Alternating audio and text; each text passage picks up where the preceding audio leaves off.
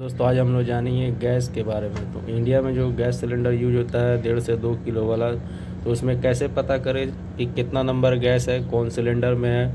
तो उसका लिए हम लोग मनी पोल्ड गैस से उसका स्टैंडिंग प्रेशर चेक करेंगे। अगर आर चार सौ दस है, उसका स्टैंडिंग प्रेशर होता है टू ट्वेंटी से टू थर्टी के बीच। तो समझ जाइएगा वो चार सौ दस नंबर गैस है।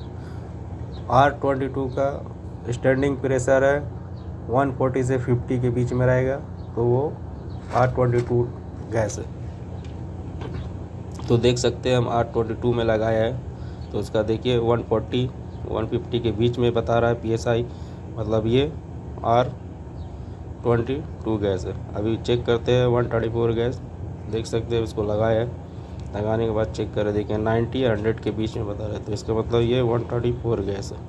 तो अपना पास छोटा सिलेंडर है नहीं, इसीलिए आपको जानकारी देने के लिए हम बड़ा ही सिलेंडर को यूज़ करके आपको पी एस आई दिखा रहे हैं। देखिए, वीडियो अच्छा लगा तो